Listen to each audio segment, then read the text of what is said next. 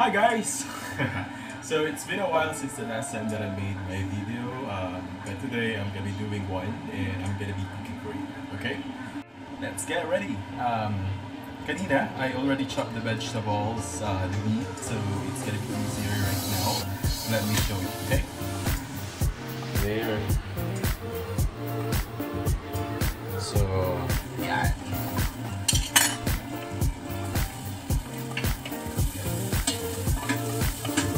Na exhaust.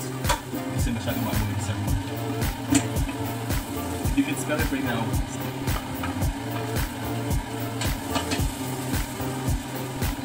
And have to control the heat. Kasi. There we go.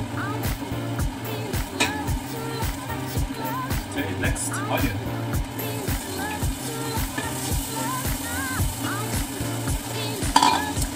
Show you, it's really nice.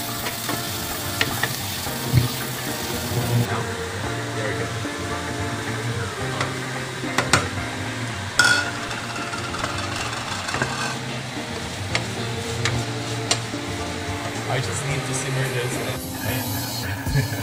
so let's check na kung ano na nangyari sa mga Ah.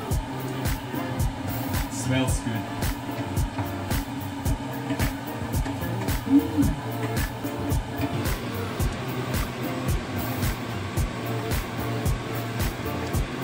So I already added the sauce, the pasta. I just need to um, mix this together until it's all done.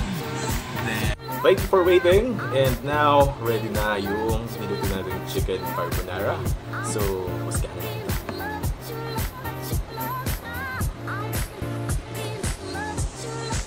Sobrang creamy.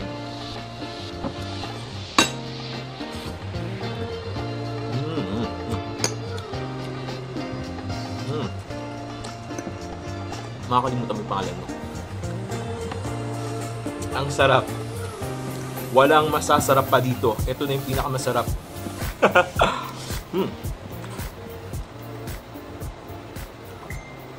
Natin yung chicken sausage na pina-export ko pa galing ano, galing Africa.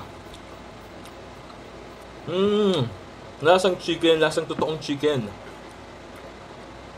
Tsaka yung shredded chicken, tikman natin. Mmm, lasang chicken din, daig pa yung Lucky Me chicken. Grabe.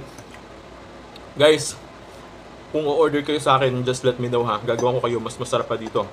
Chicken carbonara na lasang beef. Kaya akong gawin yun. I-enjoy ko muna to. I'll see you next time when I do na then the next cooking show na gagawin ko, okay? Bye-bye. Thank you for watching.